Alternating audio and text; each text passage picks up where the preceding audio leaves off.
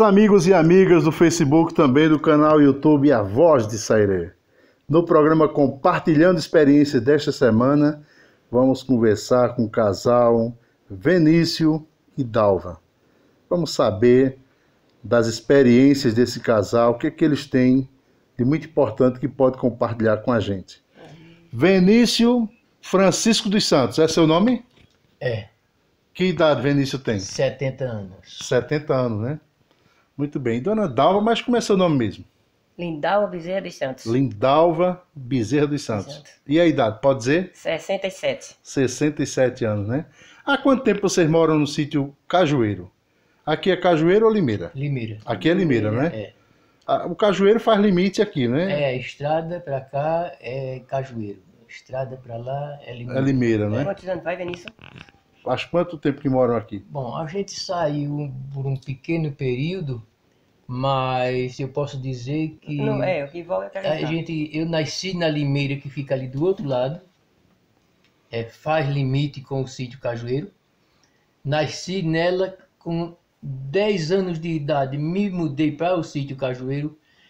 Passei, durante a minha vida, passei 10 anos fora. Voltei e até hoje continuo aqui. Quer dizer, posso dizer que eu tenho 60 anos de vida, 10 ali no sítio Limeira e 50 anos aqui no sítio Cajueiro. Muito bem. E a senhora já morava aqui no sítio Não. Limeira, Cajueiro? Eu morava no sítio Periperi. Peri-peri? Periperi. E aí, Aí, dos Dourados, do outro lado. aí, depois do casamento é que a senhora veio pra cá. Isso. Aí faz E, e como é que vocês se conheceram? é, colégio. Ah, colégio, olha só, Colégio, né, esse programa, caminhos, esse ele programa vai revelar alguma coisa. Via ele na calçada. Meus irmãos diziam, sacode uma pedra nele. Sacudiu uma era, pedra, Era, era, porque ele, ele, nós dizia que ele era mostrado. ele era tava can- mostrado. cantando folhete nas calçadas ali, nessas Ah. calçadas, né? E a gente, mais das vezes, vinha pedir um pouquinho d'água só para escutar ele cantar. E ele cantando folete. Aí meu irmão tinha um perverso, era impossível mesmo, dizia, vamos sacudir uma pedra nesse nego. Ele chamava de negro. Mas aí não. Ah! Uma pedra nele, ele está É, mostrando e aí, cantando. né, e aí a gente ficou, eh, tinha que naquela época, deu solteira, vendia rifa, muita rifa nas portas. E eu saía com a tia minha vendendo rifa, e tinha que vender rifa para passar aqui para ver ele. Para nós ver ele, né? A gente tinha que vir para ver ele. A senhora é meio interesseira de vender. a- Tinha interesse em vender Meu a tio- rifa ou de meu- olhar para o, É, o negão aí? é. Meu tio tinha um menino dele que tocava sofona, aí a gente fazia forró lá. E ele começou a chegar lá no forró. Olha, E ali foi que ele se apaixonou, viu? ele se apaixonou. Se apaixonou. E a senhora não estava É, apaixonada era, por ele, Era não? um forró. A senhora já estava apaixonada, não, por ele? Eu Acho que sim, viu?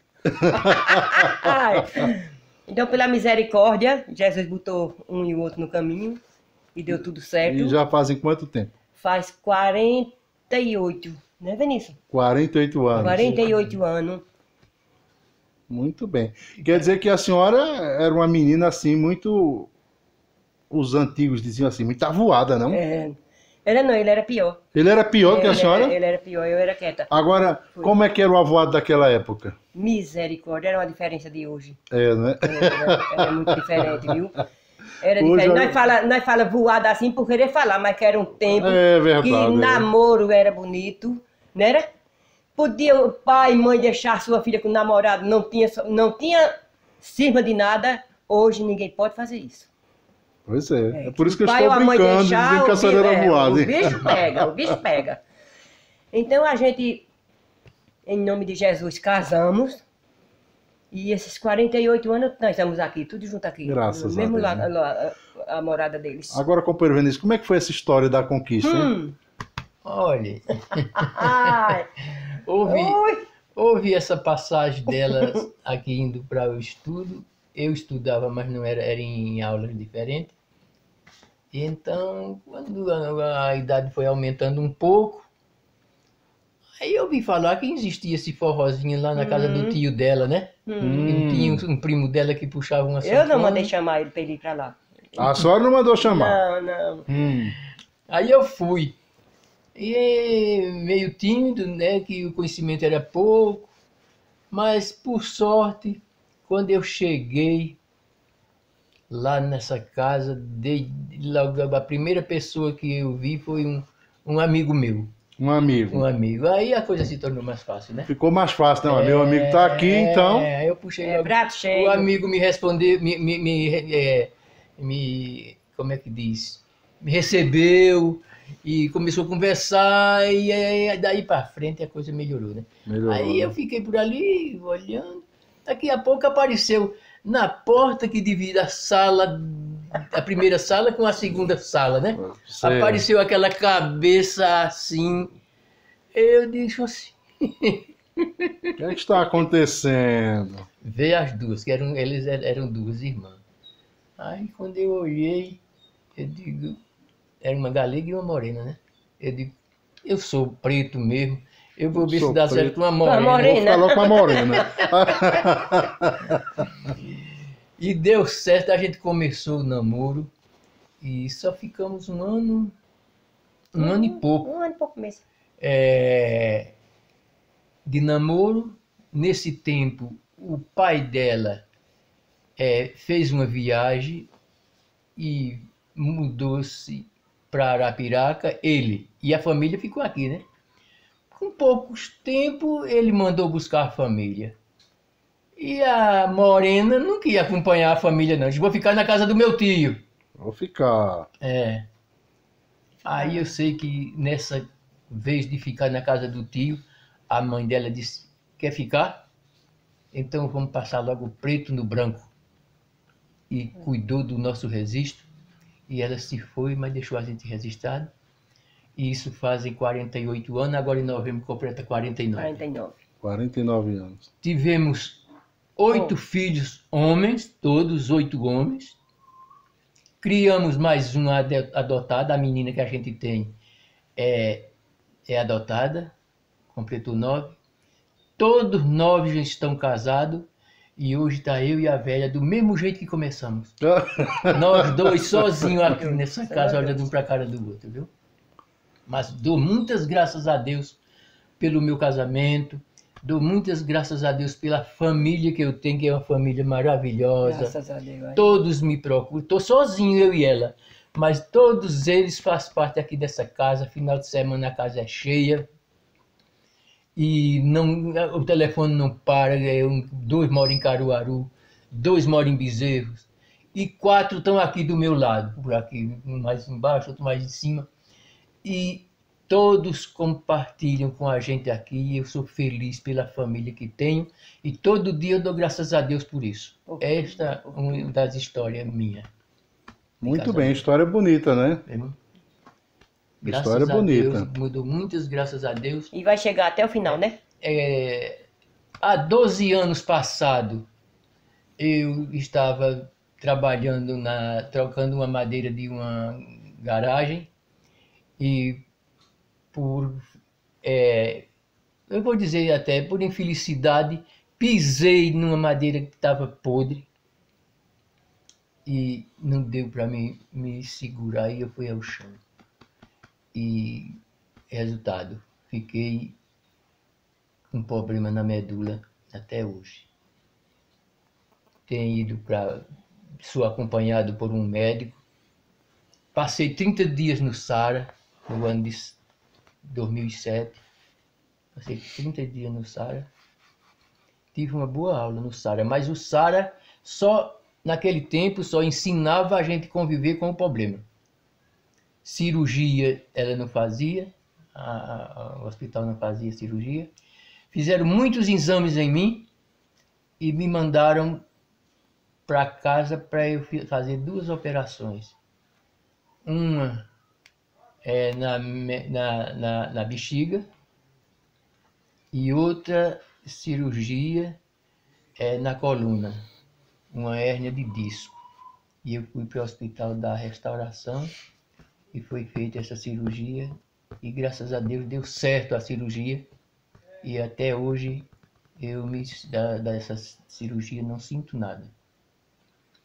E estou aqui contando essa história e agradecendo primeiramente a Deus por tudo, porque eh, nós temos motivo, eu particularmente, eu tenho motivos para todo dia dar graças a meu Deus por tudo.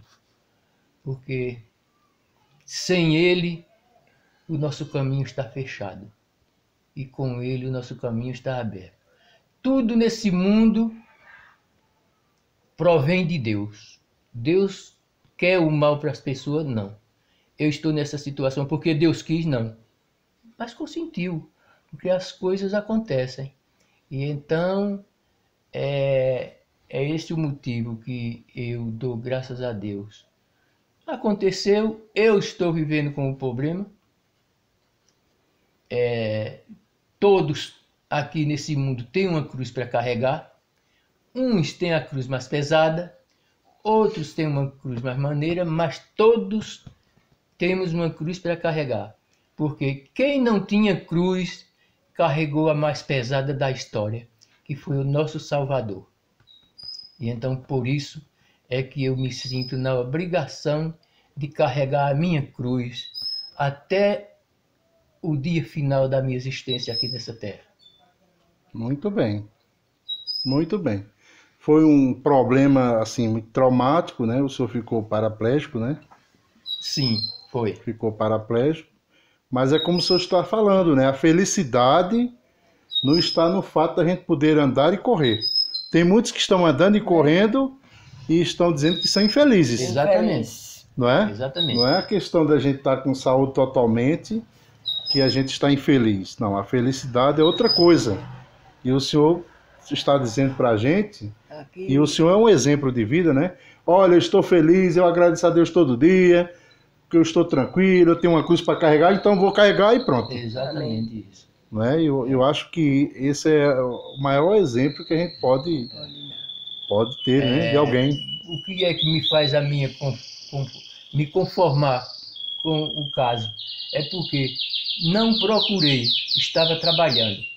Pior é aqueles que ficam na nessa situação que eu estou porque procuraram, porque abusaram da, da bondade, fizeram coisas erradas e aconteceu. Eu aconteceu, eu estava trabalhando, não procurei, aconteceu, abracei a minha causa. E nesse mundo cada um tem uma causa para abraçar. Eu abracei a minha. Muito bem. Agora, dona Dalva, como é que era a senhora jovem? jovem. Jovem.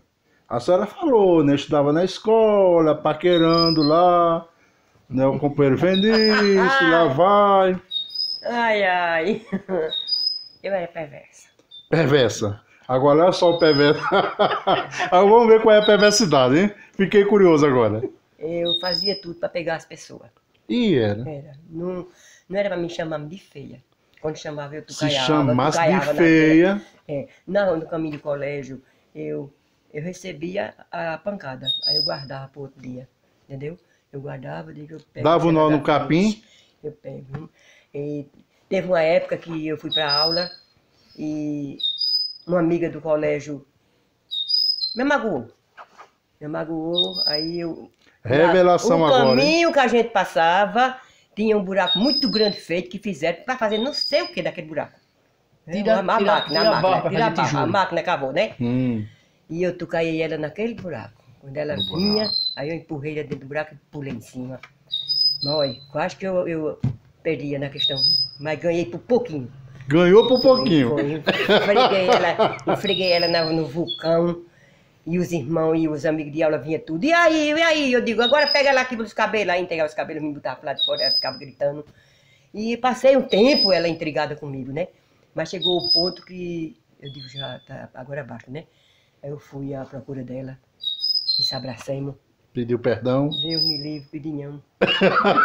Não me lembrei não, não me lembrei Não lembrou não, mas ela desculpou? abracei, não quero mais raiva de você. Ela disse, não, Dalva, aquilo ali acabou, era negócio de Pode coisa de criança. Depois de casada todas as duas, né? Abracemos e acabou. Agora o perdão eu esqueci. Perdeu. Mas já perdoou, né? Sem pedir, já, já, perdoou. já, já, que eu É, que se não- abraçou, não, né? Não, não tenho raiva dela. Eu era perversa. Eu era perversa mesmo. Eu, ah, nessa mesma aula, a professora gostava de mandar buscar a gente a buscar água. Buscar água. Era, a gente era empregada dela. Não era o aluno, não, viu? Aí eu disse, eu ajeito ela. Buscar água Vai. pra casa dela? É, num grotão pra casa dela. Aí eu fui buscar. Para a casa da Aí, professora. eu, hein? aí eu disse, eu vou, eu vou ensinar ela como é que se manda na vida dos outros, eu dentro de mim, né? Misericórdia. Aí quando ela. Botei o, a- a- o potinho, um potinho pequeno, era pequeno, que eu era xoxo, era que nem um palito. Aí, quando foi passando na porta, eu digo, eu vou marcar. Quando eu for passando na porta, aí eu levanto assim e jogo ele pra trás. Aí deu certinho. Quando eu levantei, eu digo, eita, quebrou-se o pote. A professora disse, foi porque você quis. Eu disse, foi não. Porque eu não me lembrei que tinha essa porta aqui. Não lembrei. Então eu vou dizer a seu pai, vá dizer. Vá dizer. E agora mesmo eu vou pra casa, não estudo mais, e vou dizer a meu pai por que foi. Diz, não, venha cá, venha cá, venha que eu vou lhe ensinar. Digo, vá dizer a meu pai que eu vou contar ele porque foi que o pote quebrou. Que você botar a gente pra carregar algo, a gente veio pra aprender. Não foi pra trabalhar pra você não, que eu não sou empregada de ninguém aqui. Aí ela disse, por que, que no meio de todos eles aqui só tem você assim? Eu disse, porque os outros são bestas. Os outros são bestas, viu? Os outros, os outros carregam, estão carregando cangaia, mas eu não carrego não, viu? Aí pronto, foi aquela briga danada. E foi- depois viu meu pai.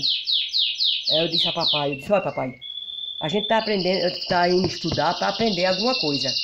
Agora, tantos potes d'água, ela manda eu buscar que eu quebro ele naquela porta. Vou quebrar o pote. Eu vou quebrar o pote. Eu, eu passo, né? Aqui na, na porta assim, eu levanto o corpo e, e jogava o pote pra trás.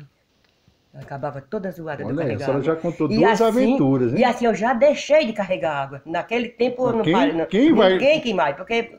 Naquela quebrar época- o pote de outra época- vez? Naquela época o povo era pobre, Deus te deu, que, que pobreza. E comprar pote toda semana, porque ela ia comprar muito, viu? Porque- É, ia derrubar mesmo. É, não, eu... Agora a senhora contou duas aventuras. Tem mais uma aventura aí que pode não, contar? Não, tá bom. Tem umas que a senhora não pode contar, não, né? Conta aquela do açude. Olha, do açude. Eu fiquei curioso Ah, agora. pois pronto, e ele vai saber quem é. Bio de Duda Mariano, que tem ali no que Cunhado de Omar? maternidade. o Sei, sei. Bio, aquele tá doente. Bill. Pronto, nós criamos tudo junto. Bill, a gente chama e de ele me algodão. Bill chamava, algodão. ele chamava comigo oi de pitomba, que meu oi era grande. Olho de pitomba. É. Isso era Aí, motivo de uma briga, né? é, é motivo não, é briga. É briga. Aí eu, aí eu faço assim, né? Meu pai, meu avô tinha um açude muito grande, o paredão era enorme. O paredão era enorme. Aí eu disse, eu vou- você vai se ferrar comigo no paredão. Eu dizia dentro de mim, não dizia a ninguém. Aí fomos tudo em brincar no paredão. Aí eu não sabia que ele não nadava, aí ele ia morrer, né? Aí eu, quando eu marquei ele, quando ele vem aqui, eu vá, joguei ele dentro do açude. Aí quando eu joguei, eu vi que ele ia morrer. Ele afundou. Aí eu pulei e joguei ele pra fora. Meu pai estava no roçado vendo. Meu pai estava vendo. Ô, Lindalva! Lindalva, disse, senhor, o que brincadeira é essa? Eu disse, pra ele nunca mais me chamar de oi de pitomba. Se é assim que tu te paga, é? Ó, o menino vai morrer, pula, tira. Eu pulei, dentro, tirei ele pra fora, ele sufocado, sufocado, balançaram. Ele escapou. Aí nunca mais, ele hoje tá bicho. Quando eu passo assim, que eu passo ali pra ir lá pra Toinho, que eu passo ali, eles falam, Lindalva, Lindalva, tu é covarde. Bill, tu tá bom. Bill, tu tá bom, Bill. E apoio, Lindalva, tu tá boa, mas Vinícius, e apoio? Mas Lindalva, tu fosse muito ruim pra ele. Fazer o quê, velho? Passou, isso aí passou, né? Não vem mais não. Pois é, foi aquele Eu não- tempo, né, de juventude, né? É, minha mãe criava muito. E ela ia lavar roupa e dizia assim, cuide no almoço. Aí eu dizia, mas eu tava bem de matar uma galinha hoje. Um almoço diferente, né? Aí Novinha, era novinha isso. tinha um mesmo. frango que ele só queria viver dentro de casa. Eu digo, eu vou dar fim a esse frango hoje. É isso. Aí eu botei milho no pé da porta, na passagem. Quando ele botou o pescoço pro lado de dentro para comer o caroço de milho, eu bati com a porta. Aí matei ele. Aí foi. Aí saí correndo pro açude. Disse, mamãe, só eu sem querer empurrei a porta e matei o frango. Isso é, uma- isso é um cristão para me fazer raiva, né? Vai pra casa e trata, bota na panela. Ué, meio-dia foi a panelada de carne. Aí depois que eu fazia isso, eu ficava sozinha assim, ficava pensando, Jesus, o que foi que eu inventei? Aí quando eu via que ela não arengou, eu chamei, mamãe, foi que matei na porta. Ô João, ô João, aí papai fazia o quê, Marina? Dizia, vem cá pra tu ver o que ele dá- tá dizendo. Matou o frango, por que aqui na porta? Vocês comeram carne guisada hoje, porque se não fosse eu naquela porta, ninguém tinha comido carne guisada. Sim. Era beira de charque, ovos, mas não tinha, né, o guisado. Então eu fazia, fácil, fácil, fácil. Olha, é, se o cabra for contar o que se passa da infância a ficar velho, muita coisa, viu? São muitas histórias, hein? É, e tem tanta coisa que não é, não é nem bom a pessoa contar, que é até pecado, viu? Dá até confusão, hein? Dá, dá, dá, dá. Mas, o companheiro Vinícius, e aí? Ah, que história é essa de cantar É folheto? santo. É porque A mãe Olha, dele gostava muito. eu eu só estudei três anos. Só tive direito a três anos de aula. Dos 12, dos 12 aos 15 anos. Mas eu eu não fui muito eu era inteligente na escola. Se eu tivesse tido tempo de estudar, acho que eu tinha aprendido as coisas, viu? Mas infelizmente eu esses três anos que eu estudava, ainda um dia, dois por semana eu saía para ajudar meu pai. Meu pai era mangaeiro na época e eu saía para tirar mangalho mais ele, um dia, dois por semana. Desses três dias, desses, desses três anos, um dia, dois, eu ainda faltava na aula. Mas, é, esse- esses três anos, no primeiro ano eu fiz a primeira série, no segundo ano, eu fiz a terceira, a professora me pulou um ano. E no terceiro ano eu fiz a quarta. Nesse quarto ano eu ainda estudei admissão. Mas naquele tempo não tinha, não tinha esse negócio de, de raiz quadrada, não. Hoje é raiz quadrada. Eu nunca vi uma raiz quadrada. Nunca Não vi é, uma raiz é raiz, né? quadrada. Aí, né, comprida? Nunca vi uma raiz quadrada. Comprida, mas quadrada Mas nunca naquele viu. tempo eu estudei um tal de máximo divisor comum, mínimo divisor comum. Aprendi as quatro operações, e ainda hoje estou com elas na cabeça, as quatro operações de conta. E eu, é por isso que eu digo, se eu tivesse estudado mais tempo, eu tinha aprendido. Inclusive, aconteceu um fato na escola que eu sempre conto, nunca esqueci isso. Porque eu, quando eu cheguei na escola, tinha umas moças lá na escola que já, faz, já dividia por uma letrinha. Olha o olhinho aí de lado, olha. Dê uma olhada de lado pro senhor agora, viu? Aqui, ó. Falou na moça, ela já olhou. Mas era diferente, era mulher que não sabia nem o que era namorar naquele tempo. Elas es- dividia e me ensinava o beabá da, da carta de ABC. Elas dividindo já e eu no beabá. Elas me ensinavam, a professora dizia. Vai ensinar a lição de Vinícius ali, elas aí, beabá, bebê, baby, beobó, e lá vai por ali. E o tempo passou, e quando foi no terceiro ano e último ano meu de aula, a conta que a professora passava lá na- na- no quadro, três, quatro letras, para dividir, a mesma era para essa moça e para mim. E eu fazia a minha conta e botava lá para a professora corrigir. E as minhas colegas que me ensinaram o beabá ficavam lá suando. Miséria. E tome borracha. Fazia, não dava certo, tome borracha. E daqui a pouco a professora, teve um dia que a professora disse, faz vergonha uma coisa dessa. Vinícius chegou aqui, vocês ensinavam o beabá, vocês já dividia. Hoje a conta dele já está aqui pronta. E vocês ainda não, não fizeram a conta de vocês. Vai, Vinícius, ensinar elas. Hum. Aconteceu isso na escola e eu nunca esqueci. Muito bom. Quer dizer, é por isso eu digo, me faltou tempo para estudar. Faltou tempo, né? Faltou Mas oportunidade. graças né? a Deus, eu, o que eu quero dizer é que, é, falando sobre o ler folhete, é que com esses três anos de aula, do, do- do segundo ano em diante, eu lia corretamente. E no terceiro ano eu lia corretamente, e hoje eu sou um semi-analfabeto, mas eu leio que não faz vergonha a ninguém ouvir. Então por isso é que eu digo que me faltou tempo.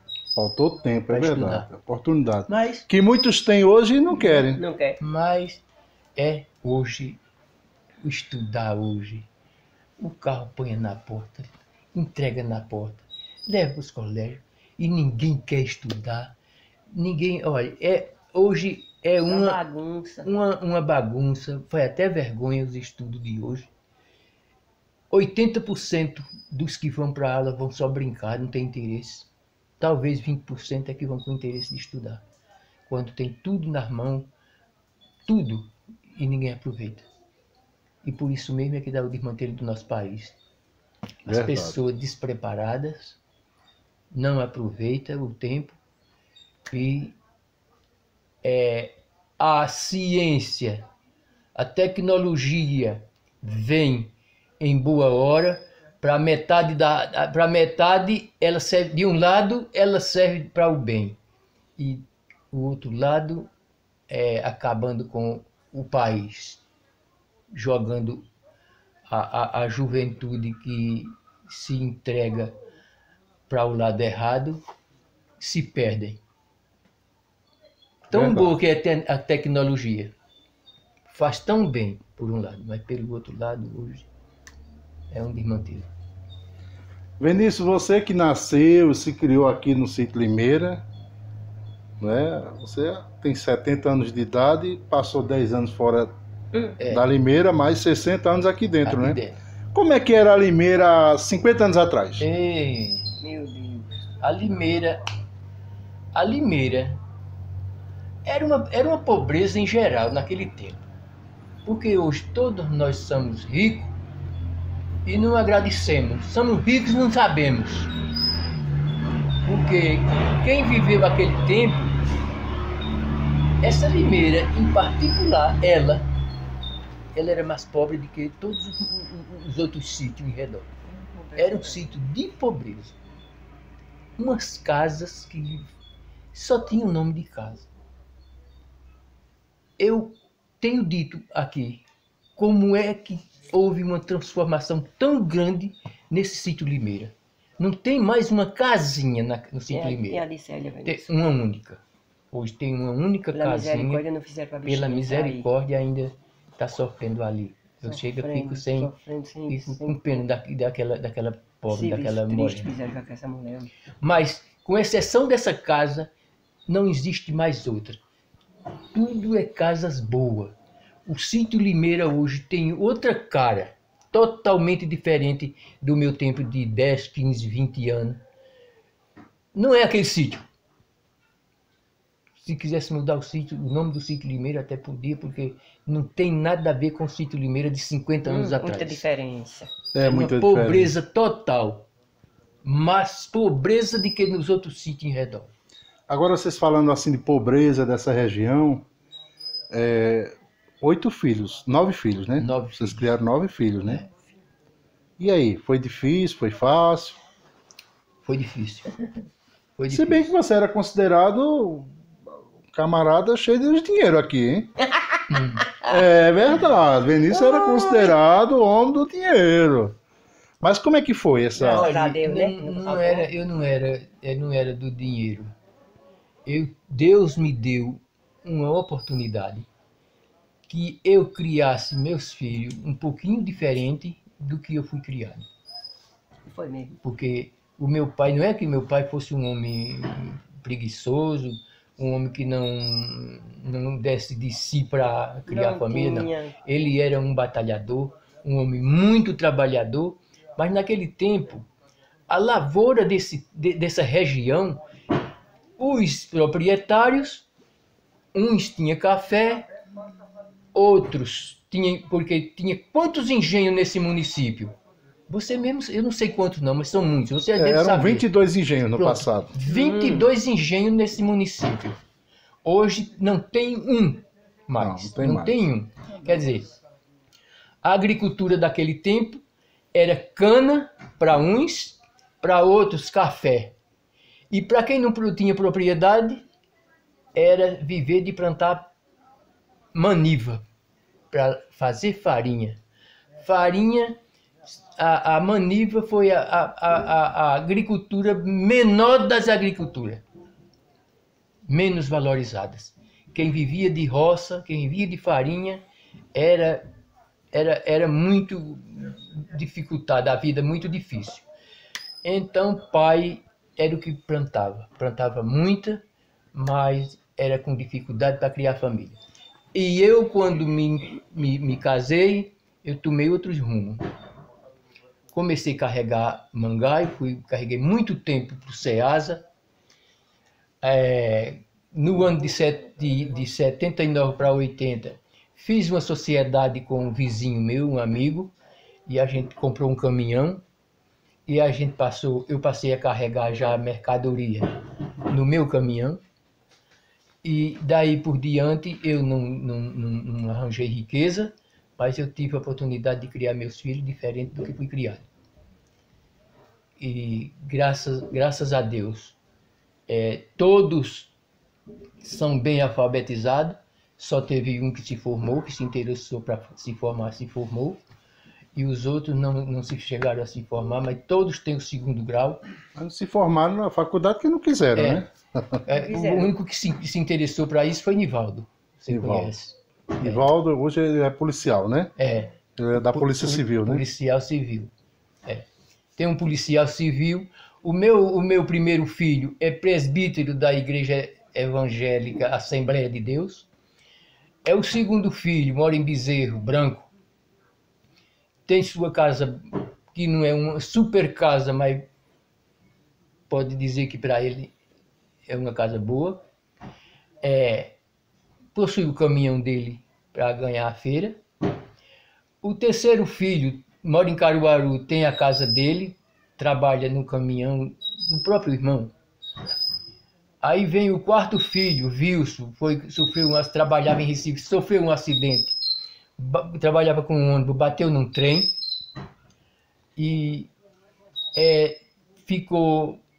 Os médicos não deram nenhuma chance de que ele sobrevivesse, mas Deus botou a mão por cima e ele, é, com 42 dias, saiu do hospital e hoje é aposentado, não pode trabalhar. O quinto filho, que é o Nivaldo, está em Caruaru, é policial civil. O sexto está morando aqui comigo, trabalhando na agricultura. O sétimo foi o que tomou conta de mim desde que eu me acidentei até hoje. É o Rafa. José Nilson, o nome dele, mas o apelido é Rafa. Foi ele quem tomou conta de mim.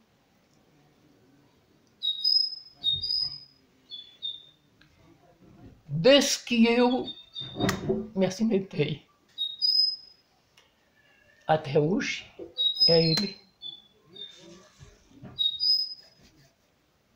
E o oitavo, é que é o caçula, sempre me ajuda também. Trabalha na agricultura aqui do meu lado.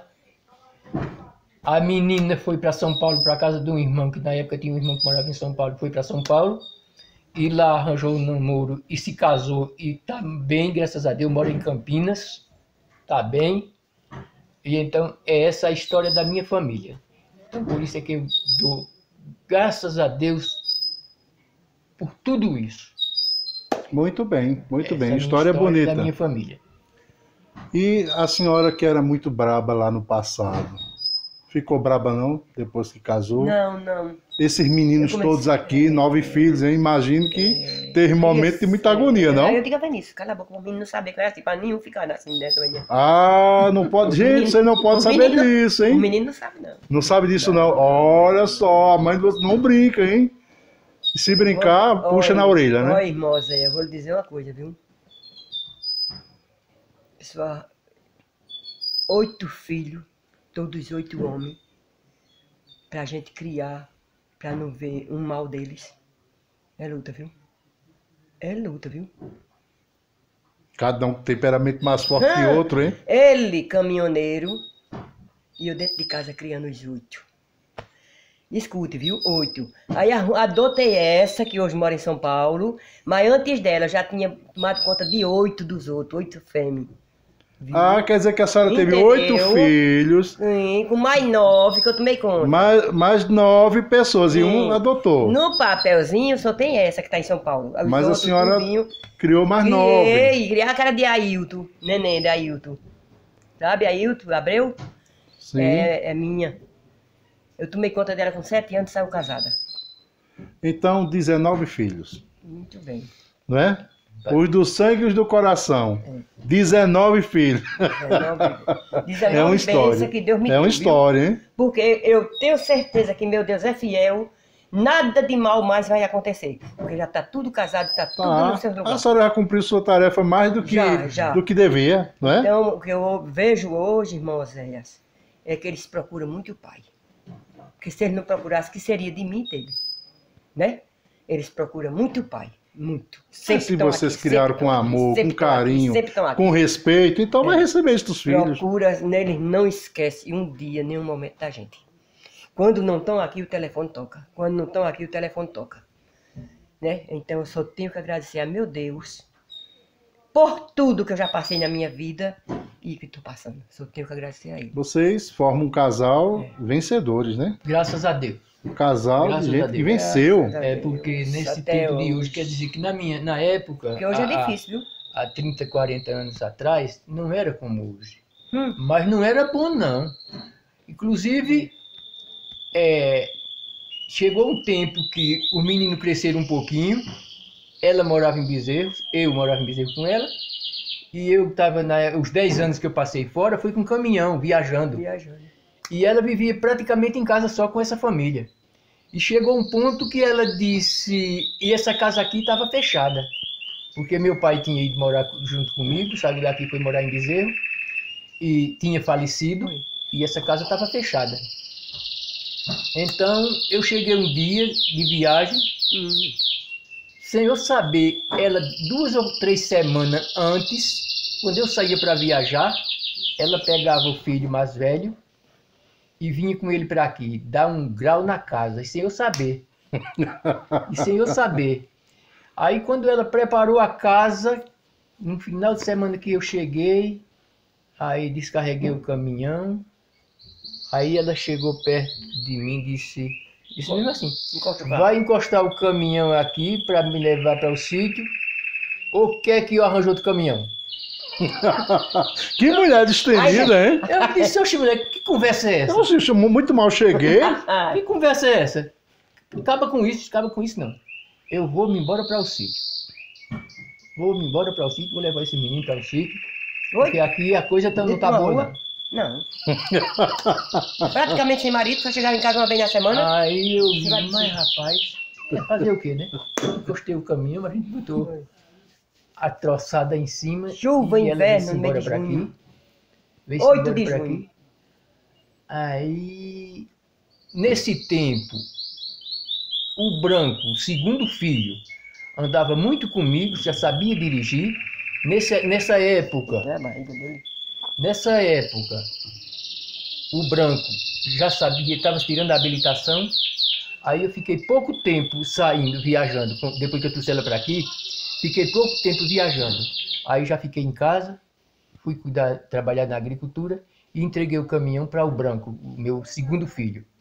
Pronto, até hoje o, o- branco mora lá para Bezerro e tem caminhão e, e eu é, fiquei aqui, eu e ela, para pastorear. Muito bem. Que história bonita essa de vocês, hein? E olha, olha, eu não estou me orgulhando porque não foi eu. Foi Deus quem fez. Porque, irmão Oséias, no tempo de hoje, ou até mesmo no tempo de 40, 30 ou 40 anos atrás, se criar uma família de oito filhos, homem, e todos os oito são homens, todos os oito derramam o suor da- da- do rosto para São homens de bem, ganhar, homens de bem. o pão. Porque tem, tem tantos que não tem essa felicidade. É tem às vezes só um filho, dois filhos, três filhos. E é um E- problema, e um né? problema, né? E eu, é, quer dizer que eu, eu, eu só tenho motivo para agradecer tem- a Deus por tem isso, né? motivos, é verdade. Porque não é Concordo. fácil, não, não é fácil, viu? A senhora é uma mulher muito guerreira, né? Destemida, corajosa. Ô, irmão Zé, acho que eu, nem nem a ele eu nunca disse, eu vou dizer agora. Vai dizer agora, Vou revelação. dizer agora. Revelação do programa. Quando eu quero fazer uma coisa que não- eu não posso dar jeito, de noite eu não durmo. Quando eu quero fazer, meu coração tá quero pedindo para fazer. mas não dá para mim fazer, não dá. Mas eu adoeço. Eu, Fica de noite eu me acordo cinco, seis vezes na noite. Porque não posso fazer. Só vai acalmar quando fazer. Oxi, não, não, não dá Muito pra mim, bem. não dá, não dá, não dá, não Um dá. Quando exemplo. eu quero, eu quero. Entendeu? É um quero exemplo. avançar, quero fazer, que eu não posso. Eu digo, eita Jesus. Nós vivemos numa sociedade que nós temos tantas pessoas que são bons exemplos. Mas a gente precisa ouvir esses exemplos. Então, nosso programa Compartilhando Experiências veio aqui justamente ouvir vocês e eu estou escutando um monte de coisas que eu não sabia. E esse exemplo de vocês, essa luta, essa resistência para proteger a família, muita gente que está me escutando agora, olha, repete esse programa lá, escuta mais uma vez, assiste mais uma vez, porque tem muitos pais deixando as famílias ou a família se destruir. Se destruir. E vocês lutaram para E construir tem- uma família tem forte. Muita, viu? Tem muitas que chega faz cramou e piedade. Pois é. Porque, irmão Oséias, o tempo tá ruim para se criar família. Mas tem pai de família, tem pais de família que até contribuem pra- para que os filhos não prestem. Porque falta o quê? Falta o rigor, falta o cuidado, O que eu acho. falta o olho aberto em cima. Deixa. O tempo está desse jeito. E os pais abrem mão. Então, qual é o caminho? O que é que vai acontecer? Eu acho assim, É. viu, irmão Zéia? Que eu não fui uma mãe muito carinhosa pra filhão. Não foi muito carinhosa, Sabe não? por quê? Sabe por quê? Porque eu vejo as mães hoje babar demais. Faz demais. Não precisa não, viu? Tem que ser pai e mãe bom, am- amoroso com os filhos. Agora, pra aguentar as picuinhas que eu vejo os pais e as mães hoje aguentar muitos, dá pra mim não, viu? Eu sofri tanto. Menino meu ir na casa de um vizinho. Menino meu, meus filhos, bato aqui, olha. Para eles viverem em casa, nas portas dos vizinhos, batendo, no meio de rua com as crianças. Eu sofri muito. Viu? Eu sofri muito. É, no meio dessa. no- é, essa menina que eu criei, essa, tá, hoje está em São Paulo. Hoje está em São Paulo. Foi a que nós passou o papel, preto no branco. Foi essa. Os outros foi tudo, eu tomava conta, quando ficava tudo moça feita, desaparecia. Ia-se embora, queria ir-se embora, vá. Mas eu digo com toda convicção. Quando eu arrumei ela, com 24 horas que eu enterrei uma, viu? Quando teve um enterro de uma de 24 horas, chegou essa, que é a que hoje está em São Paulo. E uma vizinha minha chegou pra mim, é comadre minha. Mas, comadre, como é que tu cria uns filhos, umas benças dessa? E tu vai arrumar filha dos outros pra amanhã tu... Tu vai ver teu resultado. Ela quebrou a cara, viu? Um ano, dois anos, três anos, ela chegou aqui, a Gilmara tava uma lapona de menina. Mas... cri-" Eu digo, é, tô lhe dizendo, criou-se do mesmo jeito do meu que eu tive. Do mesmo Pois jeito, é, viu? filha, do mesmo, Foi. do mesmo do jeito. mesmo jeitinho que os meus foram criados, ela foi. Vá, Célia, vai pra geladeira, pode botar naquelas garrafas. Pode botar Tudo bem. Deus abençoe, viu? Amém. Mas eu digo a você com convicção, viu? Eu sofri para criar. Agora, para eu ver o criar como hoje estão criando família, só Deus na causa, com muitos Eita, pais de família. Jesus. Só Muito Jesus, bem. viu? Hum, Porque eu vejo coisa nele que não dá para mim ver, não, viu? Para a gente encerrar o nosso programa, já estamos aqui há quase uma hora. Hum. Amém. E eu estou preocupado com o Pedro Vinícius, ele precisa ficar deitado, ele não pode ficar sentado muito tempo, né?